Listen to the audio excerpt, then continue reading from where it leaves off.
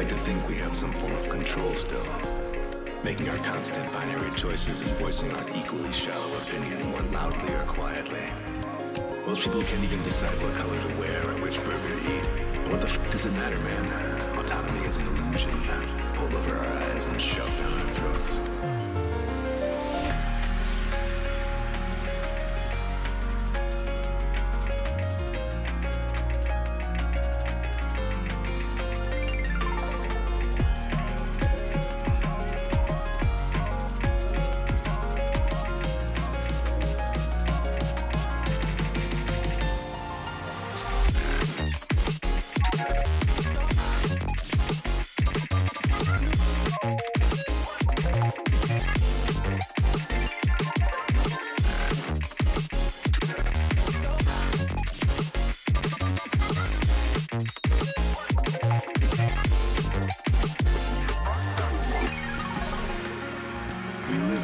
Collective paranoia.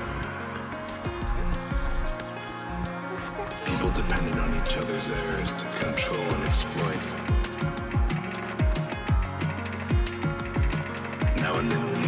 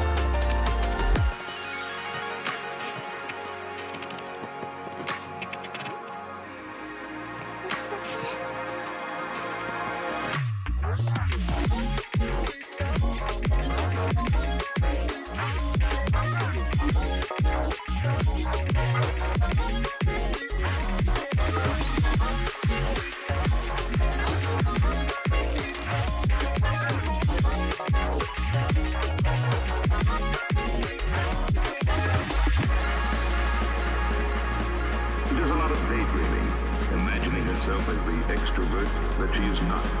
She goes over and over little events in her life, reliving her successes and suffering through her failures all over again.